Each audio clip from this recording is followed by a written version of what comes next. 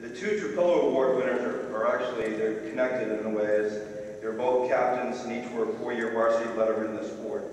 Two sports, basketball and hockey, which brought the school and student body together as one during their winter tournaments.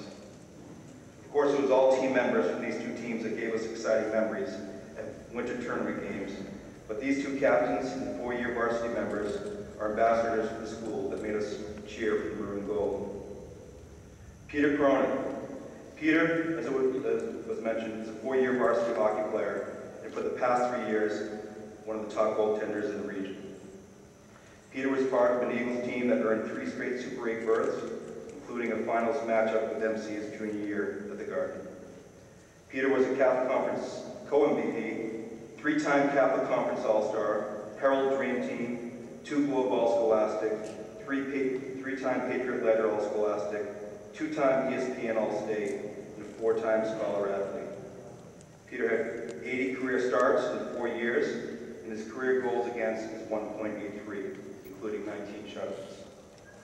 If you ran into Pete in the hallway, you would be lucky to get two words out of him. but his approach each day is tempered by humility, which is a great trait to have for our athletes.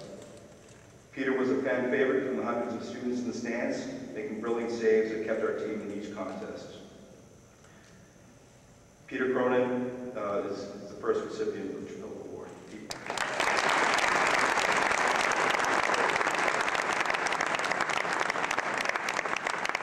Hi, uh, obviously I'd just like to start off by uh, thanking all the coaches I've had in my four years here, uh, especially uh, Coach McCabe and Coach Flaherty for uh, giving me a shot as a freshman and believing in me and sticking with me through the good times and the bad.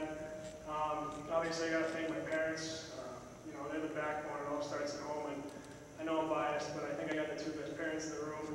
Um, uh, and also, uh, pretty much most of all, uh, my teammates. Um, you know, this is their award because they were my motivation all four years. And, you know, they made me excited to go to the rink every day and, you know, be part of something that was bigger than me. And, um, you know, growing up, a lot of kids, like when they start playing hockey, their first dream is to play in the NHL. And that was kind of in the back of my head like every little kid. But I think the first real dream I had was to uh, play here at BC High. And uh, it was, you know, really something to look down at my jersey and, you know, realize that I was finally a part of uh, that thing I wanted so much growing up.